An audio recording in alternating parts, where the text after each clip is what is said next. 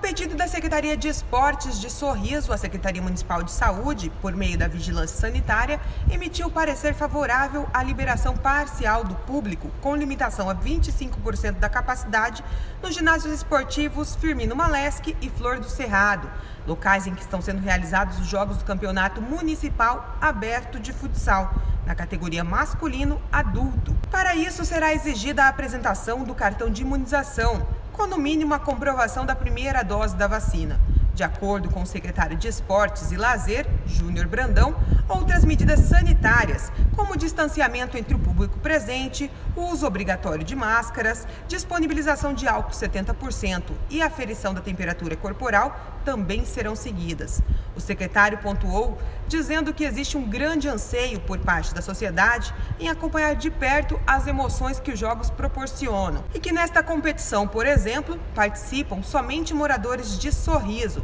e que vão estar recebendo o público de forma segura, seguindo todos os protocolos sanitários exigidos no plano de contingenciamento. Sorriso já aplicou 210,5 mil doses do imunizante contra a Covid, sendo 134,7 mil pessoas com a primeira dose e as demais em dose única ou segunda dose. Débora Lobo para o Boletim 90 Segundos.